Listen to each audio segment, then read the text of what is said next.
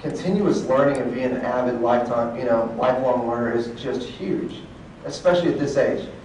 Because how many of you have 30 years work experience?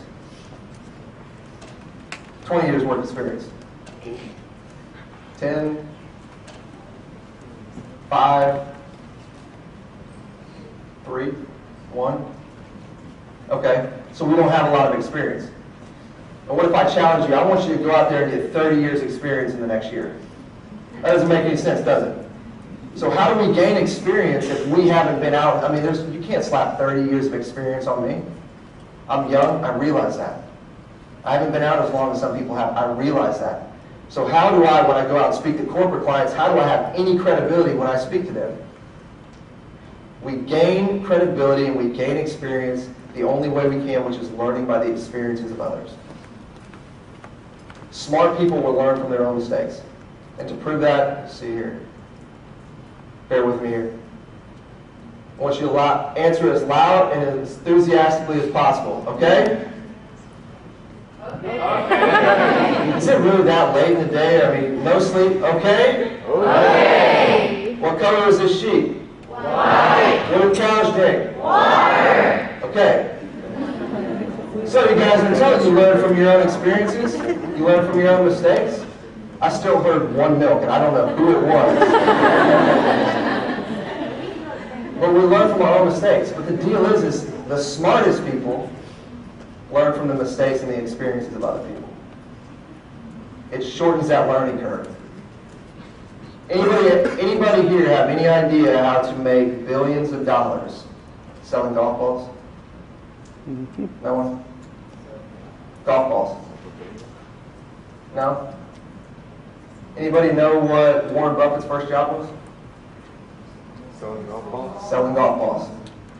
So how do you take somebody like Warren Buffett at, you know, younger than the age of 10 selling golf balls, and how does he get from there to riding in private jets and making billions of dollars? Do you know? If you read his book, you would. It's one of those things that we can't gain that experience. We can't figure out what that's like unless we, you know, take the initiative to learn from the experiences of other people. That's why we were talking about mentors yesterday. I have a number of different mentors, but I find one that's close to me that can talk about the things that are just immediately around the corner, and then I have one that's farther down the line that can show me how to connect A, selling golf balls, to B, making billions. And not necessarily that, but how do you connect A and B? So the only way we can gain experience and gain credibility is to learn from the experience of other people. Does that make sense? Because one of the things I don't know if you encounter a lot, I do a lot in my per, you know personal life and professional career, is people discredit what you say because of your age, getting into an industry. Probably the youngest person I speak to on a corporate level is 30 years old. They've been in there much longer than I have. And I stand up in front of that group and they look at me like, why should we listen to you? Like I talked to you yesterday. Why should we listen to you? And the only way that I have the credibility to stand in front of that group is to do everything I can to learn everything about a given topic or industry or you know, profession or service or whatever it is and gain the experience of other people because I can't do anything about the time thing. I can't. You can't do anything about how old you are. The only thing we have control over, which is what we need to focus on, is how do we gain that experience outside of just what time will do for us.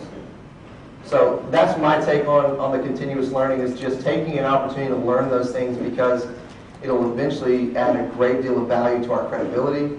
And it'll help us gain experience that we couldn't otherwise have had without decades of experience.